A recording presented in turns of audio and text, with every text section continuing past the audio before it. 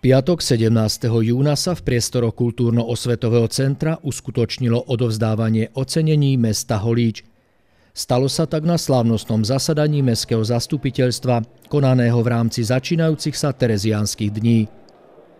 Pozvánku na podujatie prijala aj dvojica vzácných hostí, mimoriadný a splnomocnený veľvyslanec Ruskej federácie v Slovenskej republike Alexej Leonidovič Fedotov a honorárny konzul Bieloruskej republiky na Slovensku Alexej Nikolajevič Sičov. Tohtoročnými ocenenými sú štyria jednotlivci a jeden kolektív. Navrhnuté ocenenia schválilo Mestské zastupiteľstvo na svojom zasadaní 2. júna. Primátor Zdenko Čambal v príhovore okrem iného vyzdvihol úsilie spomínaných osobností, ktoré sú svojimi aktivitami príkladom pre ostatných a ktorých si mesto uctilo udelením významných ocenení. Čestným občianstvom mesta Holíč bol poctený arcivojvoda Markus Salvator Habsburg Lothringen za iniciatívny záujem o kultúrny rozvoj mesta a snahu pomôcť pri uzatvorení partnerskej spolupráce medzi mestom Holíč a nadáciou MAM. Výsledkom sú dva spoločné projekty, v rámci ktorých bol zo zahraničných finančných mechanizmov a zo štátneho rozpočtu Slovenskej republiky zrekonštruovaný juhovýchodný bastión Holického zámku. Uskutočnila sa medzinárodná konferencia i výstava o živote Márie Terézie.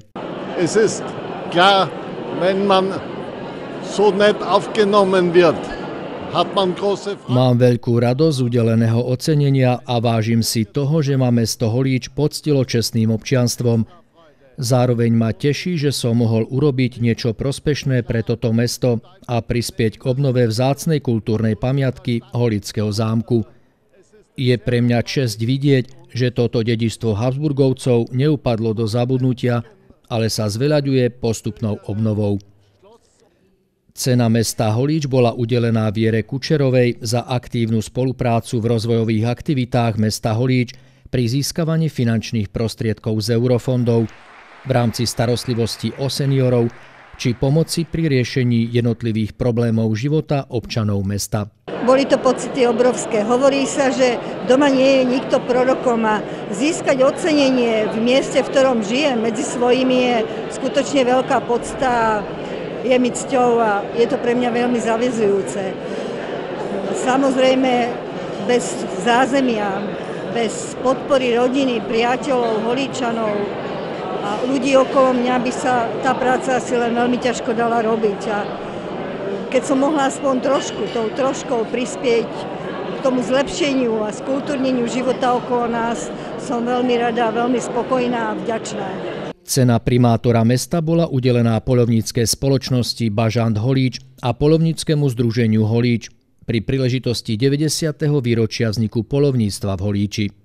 Veľmi si to vážime, toto ocenenie od primátora mesta, pretože kolektív, ktorý v súčasnosti funguje v meste Holíč, čo sa týka polovníctva, sa stará o to, aby voľne žijúca zver mala pohodu a samozrejme, aby aj sa ďalej rozmnožovala, pretože e, drobnej zvery máme v súčasnosti málo, tak musíme sa starať o to, aby sa do tej prírody dostala e, čo najviac.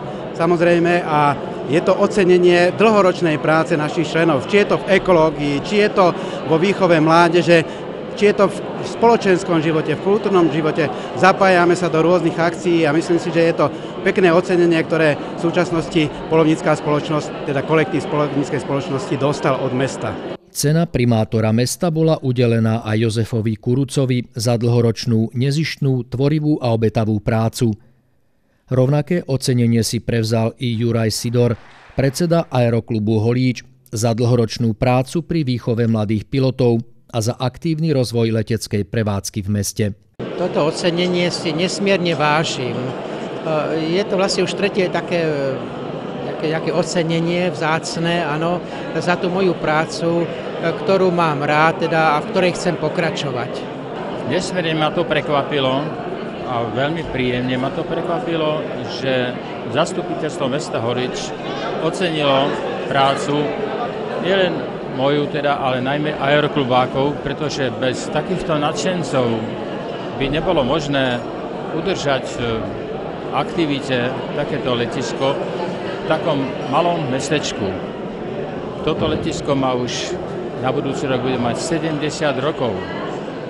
A ako som už mnohokrát povedal, holiči sú úžasne nadčasoví ľudia, keď si predstavujem a zamýšľam sa nad tým, že pred 70 rokmi v takom malom mestečku vzniklo letisko z veľkého nadšenia ľudí, ktorí darovali pozemky, postavili tu hangáre a dokonca odtiaľ bolo robené aj aerotaxi.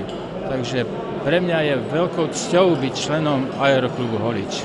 Atmosféru podvečera umocnil kultúrny program, ktorom sa predstavila speváčka Sonia Cipínová, sprevádzaná hrou na klavíri Romana Blahu. Pokračovaním slávnostného mestského zastupiteľstva bolo tradičné podujatie nazvané Čaša spolupráce. Aj tento raz sa na ňom stretli predstavitelia samozprávy so zástupcami podnikateľskej sféry, ale i ďalší hostia. Spoločné stretnutie bolo príležitosťou k priateľským rozhovorom, nadviazaniu nových kontaktov či výmene skúseností.